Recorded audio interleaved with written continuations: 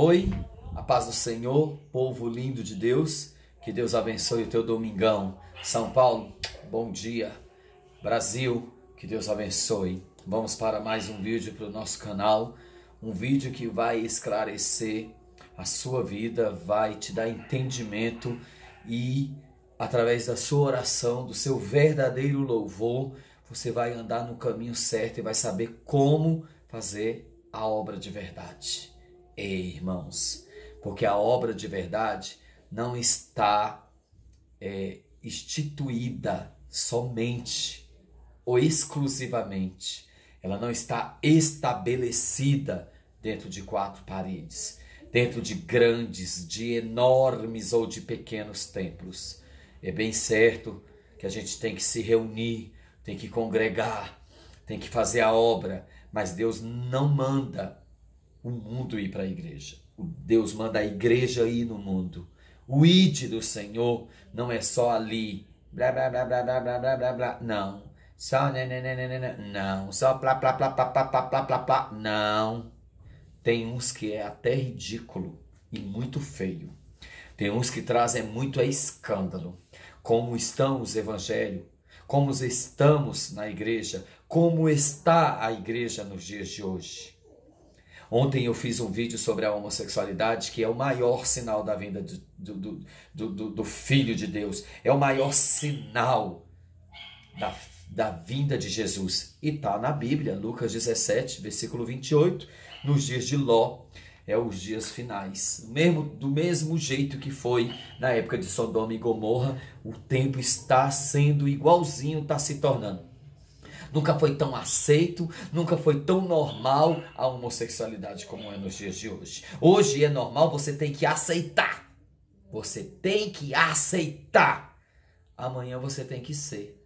Amanhã será obrigatório você ser gay, ser lésbica, ser pansexual, ser bissexual, ser light sexual, it sexual, pansexual. Ah, pra lá, diabo. Sai pra lá, Satanás.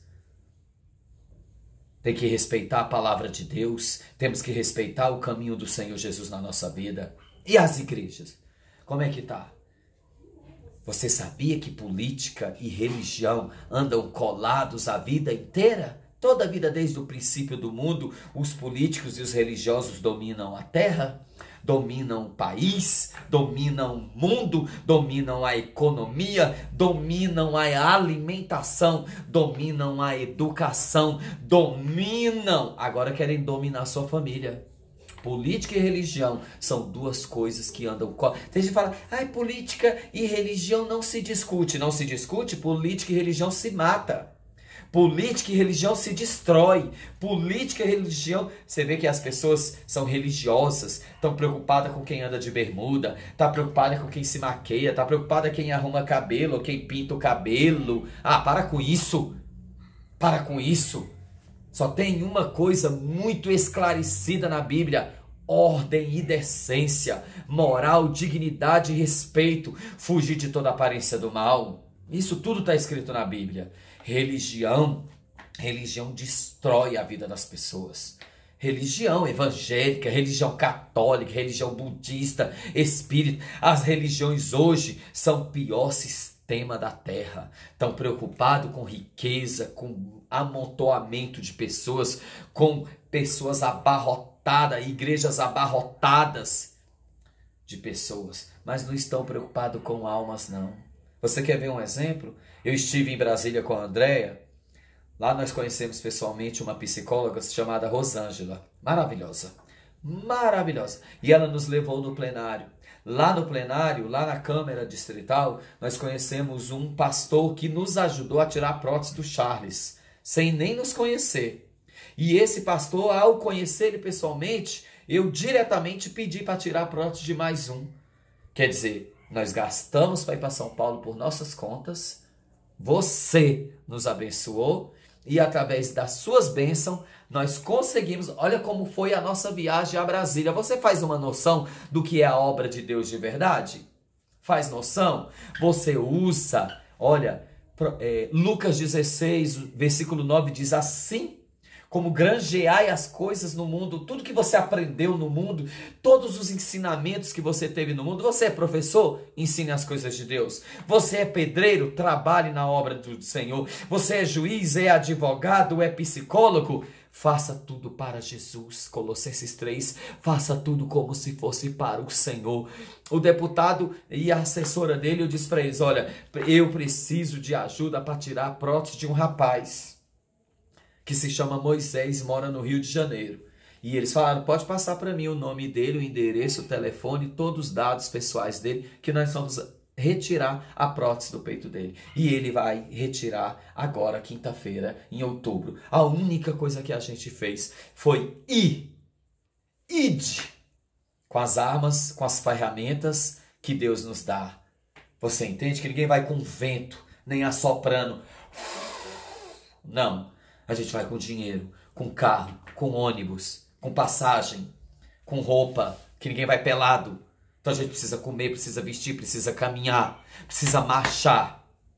O id do Senhor, religião e hoje política, os dois andam lado a lado, sempre andaram, sempre andaram para destruir todo o sistema da família.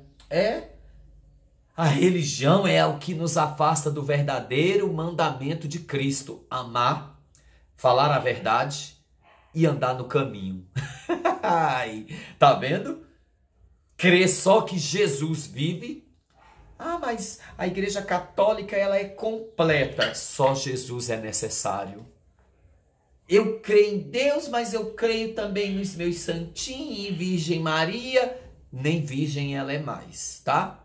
Ela só foi Virgem Maria para colocar na terra o filho de Deus. Depois ela coabitou com o marido dela José e teve mais quatro filhos. Então ela não é Virgem Maria. Isso é religião. Menino Jesus, Jesus não é menino, Jesus morreu com 33 anos, homem. E ele morreu Deus. Jesus morreu sendo Deus, morreu morreu carne e ressuscitou o Deus vivo que vive em nós. Nós somos o templo da morada do Espírito Santo. Como estão as igrejas hoje? Espetaculosas, sensacionalistas, miseráveis, mentirosas, apóstatas, heréticas. Não é só a igreja da Lana Roden que é herética, não. Ela prega que o pecado é normal, que o pecado é o amor. E as igrejas pregam que você só vai para o céu se você for dizimista e ofertante se você não ofertar, você é ladrão. Oferte na vida de. Não, tô, não sou contra dízimo, não, e oferta, não. Porque eu também sou. Toda vida eu devolvi dízimo, toda vida depois que aceitei Jesus. Depois, há 12 anos eu dou, devolvo dízimo, eu dou oferta, eu faço voto na igreja, eu oferto na vida das pessoas, eu oferto na igreja, eu devolvo dízimo na vida de pessoas dentro da igreja, do jeito que eu achar melhor e com alegria do jeito que Deus colocar no meu coração. Não é quatro paredes denominação que manda em mim, não. Quem manda em mim é Jesus. Eu estou debaixo de uma autoridade de Deus na minha vida.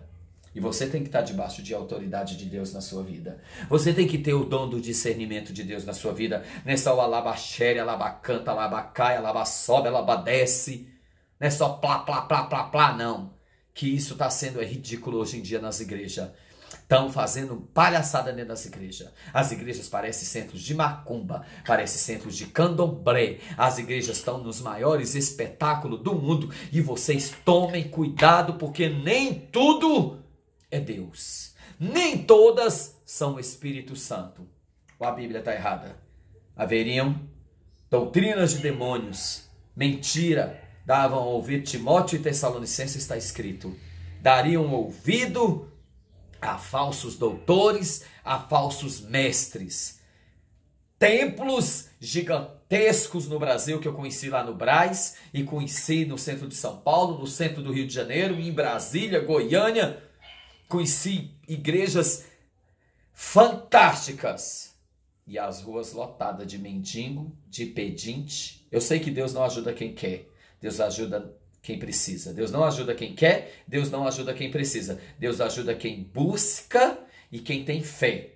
Mas eu vou te dizer uma coisa: o dever da igreja é sair do comodismo das. Eu, eu preguei numa igreja em Sumaré. É, preguei numa igreja em Sumaré que o pastor disse que não ia, não.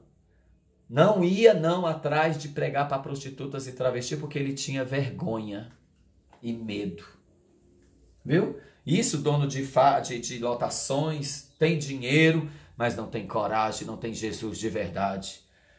Muitas igrejas que eu e André vai só vai uma vez, irmão. Porque eu dou meu testemunho, eu mando largar o pecado, eu aponto o dedo na cara de Satanás e falo: deixe o pecado, deixe o mundo, deixe música do mundo, deixe as coisas do mundo, sirva a Deus com a sua vida. Só vai uma vez.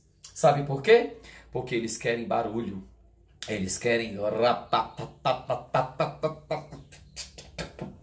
joga a cadeira pro alto, joga a cadeira pro outro, fala que tu vai ganhar isso e vai ganhar aquilo e vai ganhar aquilo outro, e eis que eu te digo isso e eis que eu te digo aquilo, e eis que eu vi tu lavando roupa no tanque e lá tinha um gato rosa e o gato quase falou contigo porque eu tava lá.